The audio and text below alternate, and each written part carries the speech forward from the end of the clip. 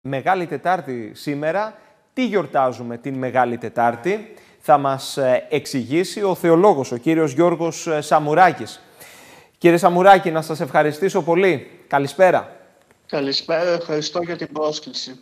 Τι γιορτάζουμε σήμερα; Κάθε μέρα στην ακολουθία του όρθρου που τελεί η Εκκλησία μας τώρα το βράδυ υπάρχει ένα μικρό κείμενο που λέγεται συναξάρι και αυτό μας περιγράφει ακριβώς τι γιορτάζουμε. Για την αυριανή ημέρα αυτό που διαβάζουμε σήμερα το βράδυ είναι ότι γιορτάζουμε τέσσερα γεγονότα.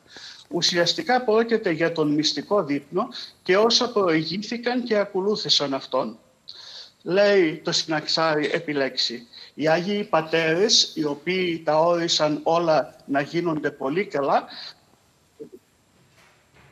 μας, ναι, σας μας ακούμε. όρισαν να γιορτάσουμε τον νηπτήρα, τον μυστικό δείπνο, δηλαδή την παράδοση των μυστηρίων, την προσευχή στο όρος των ελαιών και την προδοσία του Ιούδα.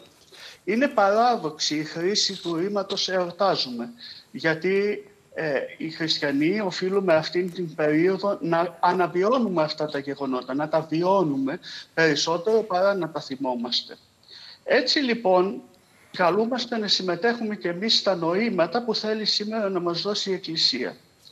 Στον υπτήρα, όπως υπόθηκε και από συναδέλφους τις προηγούμενες μέρες, ο Χριστός πλένει τα πόδια των μαθητών. Ήταν μια υπηρεσία που την πρόσφεραν οι δούλοι αλλά θέλοντας να δείξει ένα παράδειγμα ταπείνωσης και πόσο χρήσιμη είναι η διακονία του χριστιανού προς τον πλησίον, ο ίδιος ο Κύριος πλένει τα πόδια των μαθητών και μάλιστα όταν ο Πέτρος αρνείται αυτή την υπηρεσία από τον Κύριο, του λέει ότι δεν θα έχεις μερίδιο στην δική μου βασιλεία αν δεν δεχτείς αυτή μου την υπηρεσία.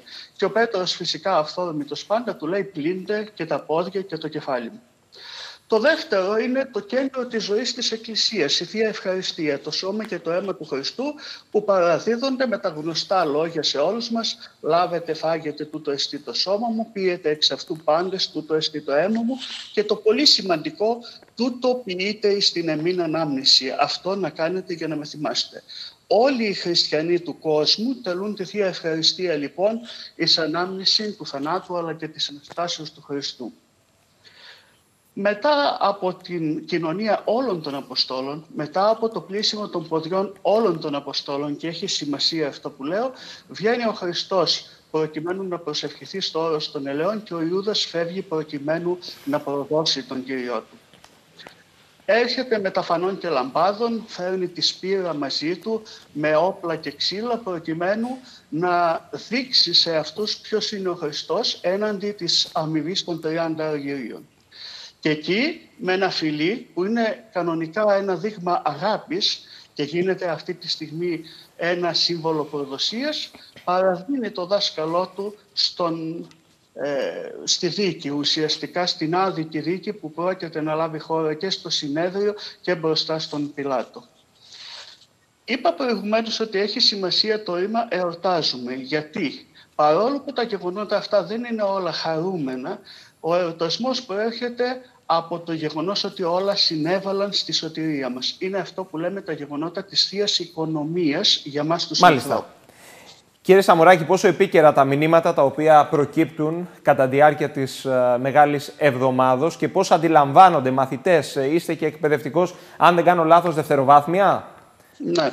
Και πώς αντιλαμβάνεται η νέα γενιά τα μηνύματα αυτά; Κοιτάξτε, νομίζω είναι πάντα πολύ επίκαιρο να ξέρουμε ότι όλοι μας είμαστε τρεπτοί άνθρωποι, δηλαδή μπορούμε να αλλάξουμε από τη μία στιγμή στην άλλη. Όλοι μπορεί να προδώσουμε τα πιστεύω μας, τον εαυτό μας, τους φίλους μας, αλλά και όλοι μπορούμε να μετανιώσουμε γι' αυτά. Οπότε, ιδίως τα μηνύματα της σημερινής ημέρας μας φέρνουν μπροστά στην επιλογή που πρέπει να κάνουμε στη ζωή μας. Λάθη θα κάνουμε όλοι στη ζωή μας. Το θέμα είναι ποια είναι η κεντρική κατεύθυνση που δίνουμε εμείς και ποια θα είναι η πορεία που ακολουθούμε. Ακολουθούμε λοιπόν τον Χριστό σε αυτήν την ανάβαση, τον ακολουθούμε στο Σταυρό για να μπορέσουμε Μάλιστα. να βρεθούμε μαζί Και η νέα γενιά πώς αντιλαμβάνεται τα μηνύματα αυτά; Νομίζω ότι αυτά τα μηνύματα είναι χρήσιμα για όλους. Τα παιδιά καταλαβαίνουν πολύ περισσότερο από τους μεγάλους γιατί τα βιώνουν μέσα στην δική τους καθημερινότητα αυτά τα πράγματα. Ξέρουν ότι μπορούν να προδοθούν τα αισθήματά τους, αλλά ξέρουν και ότι μπορούν να αποκατασταθούν οι σχέσεις μεταξύ των ανθρώπων. Άρα νομίζω ότι χρησιμοποιώντας τα παραδείγματα που μας δίνει η Αγία Γραφή μπορούν να τα κατανοήσουν πάρα πολύ καλά και να τα βιώσουν, αν όχι και με Μάλιστα. τον τυπικό τρόπο που νομίζουν. Θέλω να σας ευχαριστήσω πολύ κύριε Σαμουράκη. Και εγώ, να είστε Σας ευχαριστώ πολύ.